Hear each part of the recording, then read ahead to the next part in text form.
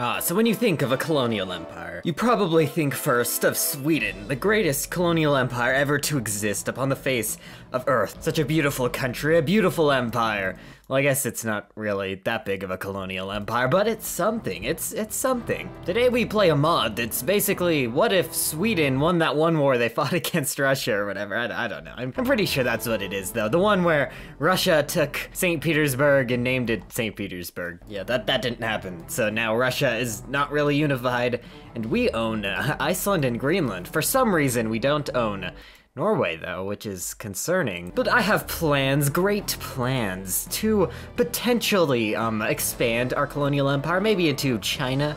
I don't know. I, I, I think I have a lot of ambitions.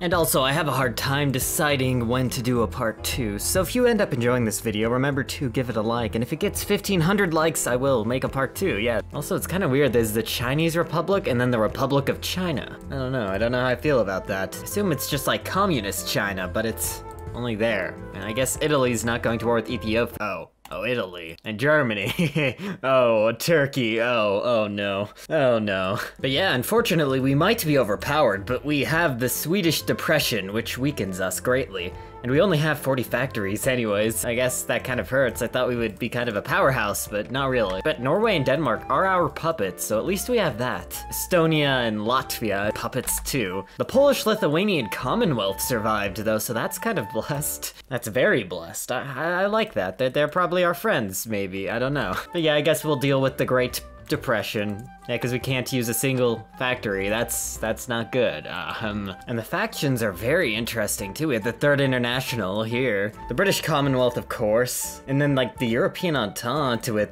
Italy and France. We have the League of Warsaw, and then we have pretty much Austria-Hungary and the North German Confederation. Interesting stuff. I don't know where we really stand in the world.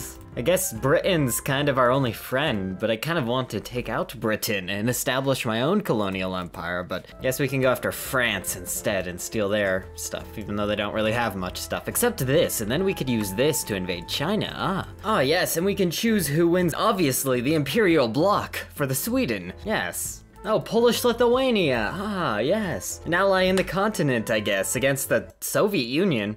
Wait, I swear these guys weren't the Soviet Union before. Oh wow, this Chinese Republic is kind of doing an okay job fighting all the other Chinas at once. Very interesting. Yeah, they just have a generic focus tree though. I know Japan has a focus tree, so they're probably gonna do something. It looks like they're gonna annex Taiwan. Oh, war in the Middle East? Oh, I also really like how Syria and Assyria are in a faction. I, I like that. Oh, wait, Norway? This isn't very good. I mean, we can't join the Civil War because there's not enough world tension. And it's not like I can artificially spike world tension by justifying on random people, so I don't think there's anything I can really do here. I guess I could lend lease them stuff, but I don't know.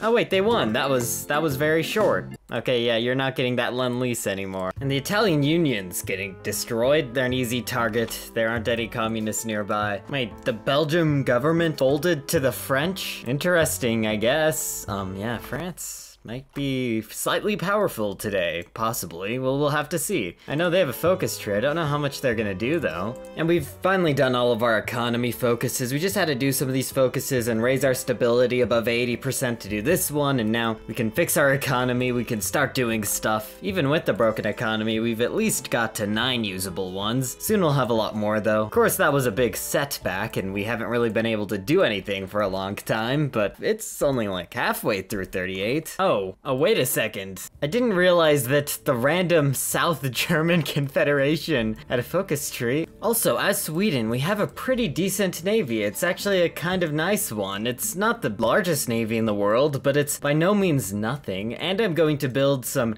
heavy ships to add to it to make it even better. We'll have to invade Britain eventually, you know, so we gotta, we gotta do something. Yeah, he's definitely gonna lose here, but that, this could be an interesting playthrough too. Maybe I should do that sometime, and I just won't be stupid and declare war on everybody at once. Wow, and look at this. We can do the Legacy of Carolus Rex and get plus 15% division organization. Uh, we're gonna go straight for that focus as we justify war against Russia. Uh, we, we need to invade them and deal with them preemptively, even though we own everything we want over here. They're obviously going to attack us, so we have to attack them first. Before they have prepared, even though they've had more military factories than us for longer. I don't know. But we already have an advisor who gives us plus 10% infantry division attack and plus 15% artillery attack, so that's already pretty good, and it's only gonna get better once we get the 15% extra division organization? This could really start to become overpowered. Wait, and there's another focus we can do?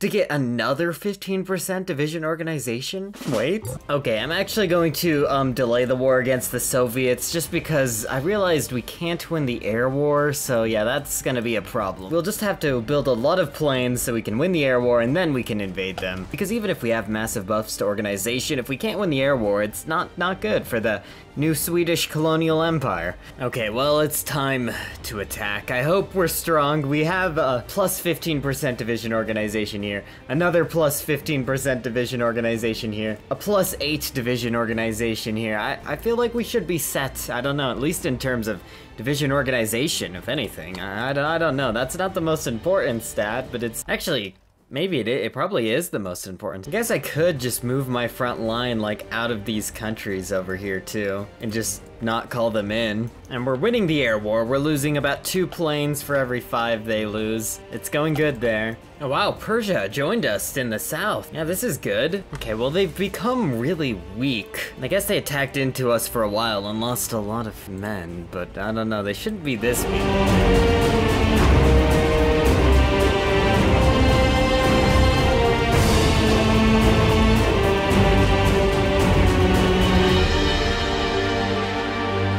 Yes, Siberia has come to the rescue by helping distract the Soviets. I assume they want to reunify Russia. I, I, unfortunately probably won't give them the full privilege of that, but at least they're friends in a trying time. We really just need to get out of this state, because this supply zone here is terrible.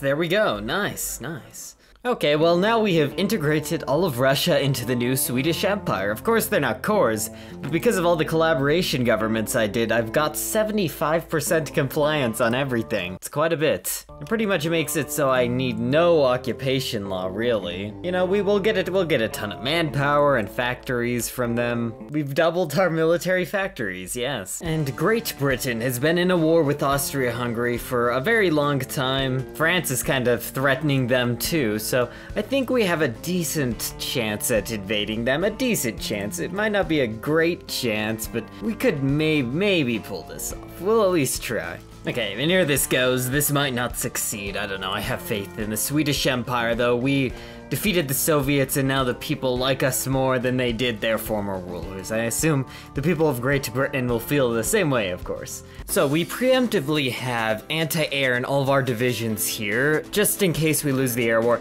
I should probably have put some more anti-air in there, but I, I don't know. I, I don't want to mess with my divisions too much. I don't know. This is going to have to be a really fast conquest if we we want this to be successful. Now let's let's do this though. We will have to have victory in the English Channel because we have to take the ports and the airfields. We have to take the airfields especially too because our anti-air can only do so much against Britain's superior air force there. It's uh, ours is nothing compared to theirs. So yeah, we're destroying them in the skies though. This is good to see. I guess if we keep this up, we might not have to invade the south. Okay, we finally got the naval supremacy. France joined the war though, like a second ago, so they didn't contribute to it really. I, it was mainly the cipher that I just released that seems to have given us the supremacy. So it's now time to act extremely quickly.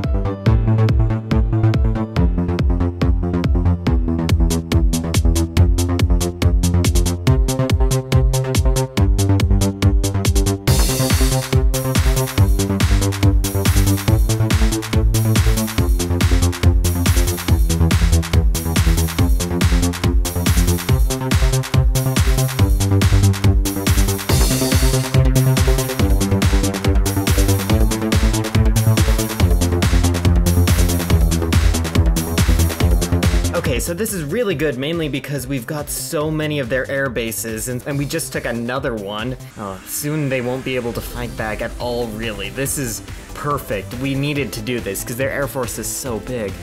Because they have so many planes, this is just necessary that we took all this stuff.